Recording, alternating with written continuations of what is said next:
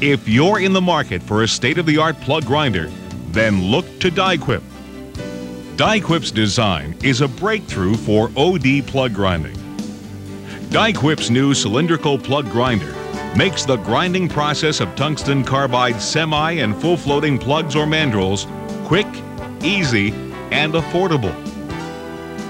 It has unique features designed to specifically address plug grinding problems, such as poor plug intersections, clumsy work holding fixtures, chatter due to improper wheel speeds, and continually truing the wheel.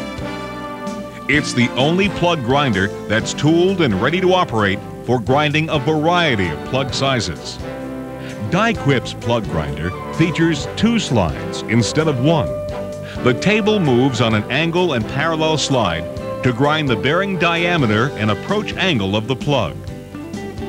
The slides move manually, are accurately positioned by adjustable dead stops, and can be used during the plunge grinding and brush out cycle. Moving the wheel across the bearing and approach angle of the plug with the double slide provide a superior surface finish and longer plug life.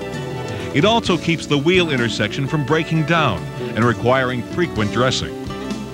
The machine features a three-speed grinding wheel that adjusts wheel RPM for the size of the plug and eliminates chatter. A coolant system that includes a paper filter to keep the coolant wheel free from cutting particles a linear scale counter that allows the operator to view diameter changes on a digital readout, and an auto feed system that allows the operator to leave the machine while the plug grinder is in operation and achieve consistent repeatability from one plug to the next.